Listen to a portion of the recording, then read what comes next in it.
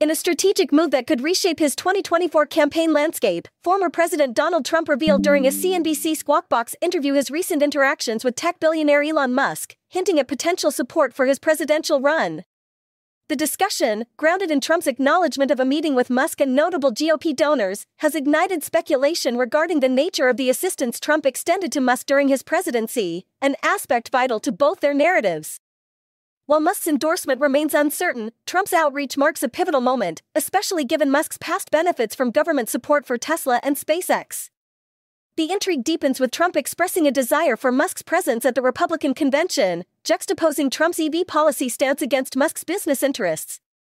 Amidst regulatory battles and contrasting political views, the relationship between these two influential figures could significantly sway the election dynamics.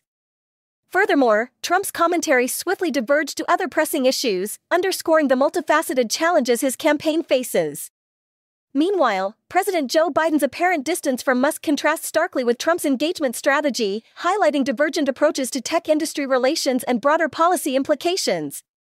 As Trump navigates this delicate alliance, the political and business ramifications loom large, positioning Musk as a potential, yet unpredictable, ally in a campaign fraught with complexity and high stakes.